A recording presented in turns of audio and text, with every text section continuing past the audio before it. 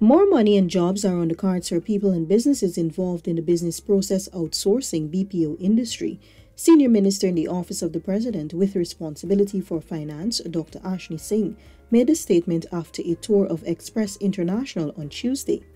The minister was accompanied by Chief Executive Officer of Go Invest, Dr. Peter Ramsaroop. The US based group of companies was extended to Guyana several years ago by Ken Deocharan, a member of the Guyanese diaspora. Dr. Singh, proud of the company's achievements, spoke of the attractiveness of Guyana as a BPO destination. Guyana, of course, is an English speaking country. We have a very well educated uh, uh, population.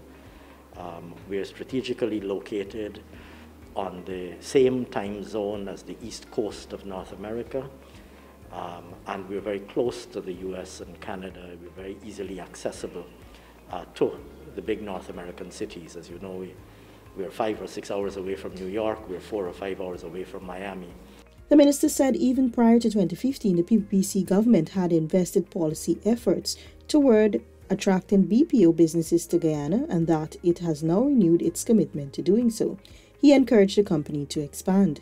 Chief Executive Officer Express International, Ken Deocharan. The goal is to continue to grow Express International we have come into Guyana and uh, made a huge impact on the labor market, uh, providing great job opportunities for Guyanese people.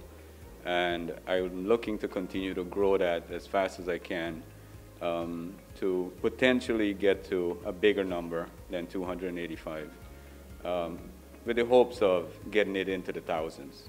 Dr. Singh said Express is an example of what can be achieved by the diaspora.